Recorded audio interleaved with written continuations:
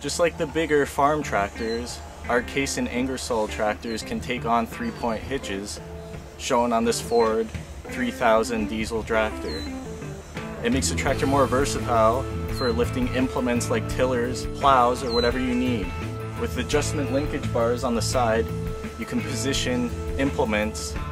After you've found your three-point hitch, you probably want to disassemble it to clean it. What, I, what I have done already is disconnected the hydraulic lines and pulled the cylinder off of the three-point hitch. After you've done this, you'll be able to slide the back cap or foot off of the cylinder.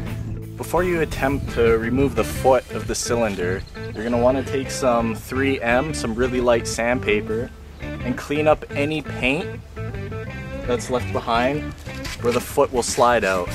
Now, once you're done with the sandpaper, you're want to get a hammer and you're to have to bottom the piston out so it's resting on the foot. And then with the hammer, you're just to start tapping it and this will push the foot out.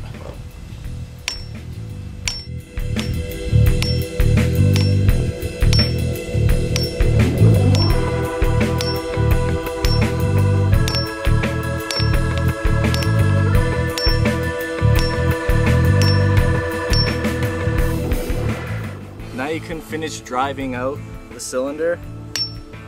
Now at the end, a punch get the last of it.